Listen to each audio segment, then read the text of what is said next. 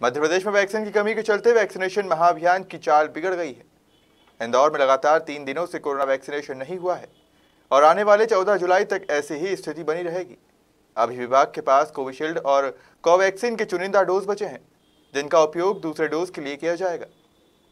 मध्य प्रदेश की आर्थिक राजधानी इंदौर में ज़ोर शोर से शुरू किया गया वैक्सीनेशन अभियान अब ठंडा पड़ने लगा है। इसकी मुख्य वजह वैक्सीन डोज की कमी है। पर्याप्त वैक्सीन डोज नहीं मिलने से पिछले तीन दिनों से वैक्सीनेशन का काम ठप है। फ़िलहाल स्वास्थ्य विभाग के पास कोवैक्सीन के तेरह हज़ार डोज बाकी है, जबकि 900 डोज कोविशील्ड के उपलब्ध हैं। विभाग अब इनके उपयोग दूसरे डोज के लिए ही करेगा। क्योंकि वैक्सीनेशन का ये है कि अभी हमारे पास वैक्सीन की जो डोजेज बहुत कम मात्रा में आ रही, शनिवार को भी हमारे यहाँ वैक्सीनेशन नहीं था।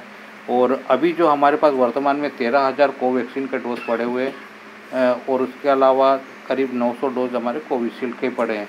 ये कोविशील्ड के हमारे एमजीएम में लगेंगे, जहाँ पर कि फॉरेन जाने वाले और जो कर रहेंगे यात्री, उन लोगों के सेकंड डोज के लिए रखा है। और कोवैक्सीन के कल कुछ जहाँ पर कंटिन्यू कोवैक्सीन के सेंटर्स लगे हुए हैं, वहाँ पर कोवैक्सीन लगेगा। तो हमारे पास तेरह हज़ार का डोज ही पड़ा है और चूँकि सोमवार को भी मिनिमम डोज है, बहुत कम है लगेंगे।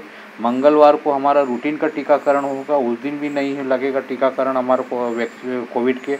और बुधवार को भी अभी बता दिया गया है कि बुधवार को भी कोई वैक्सीनेशन नहीं होगा। जैसे हमको स्टेट से वैक्सीन प्राप्त होती है, हम वैसे ही हमारे डोजेज वापस चालू कर देंगे और हमारे सेंटर से नहीं चालू कर देंगे। क्योंकि वैक्सीन पर्याप्त मात्रा में सप्लाई हमको स्टेट्स होती जैसे जैसे वैक्सीन सप्लाई होती। अगर हमें एक समय ऐसा था कि हमें अगर अच्छी पर्याप्त मात्रा में वैक्सीन अगर तीन लाख, ढाई लाख के आसपास मिली थी तो हमने वो डोज भी कंप्लीट किए। उसके बाद हमको दो दो लाख वैक्सीन मिली तो हमने वो डोज भी डेढ़ डेढ़ एक लाख साठ हज़ार एक लाख सत्तर हज़ार इस तरह से भी डोज हमने कंप्लीट किए। जैसे ही हमको पच्चीस हज़ार तीस हज़ार चालीस हज़ार डोजेज मिलते तो हम लोग ये पूरा डोजेज कंप्लीट कर रहे।